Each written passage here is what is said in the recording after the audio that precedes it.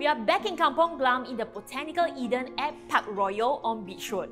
At Ginger, diners can indulge in a wide selection of local favourites amidst a botanical themed ambience.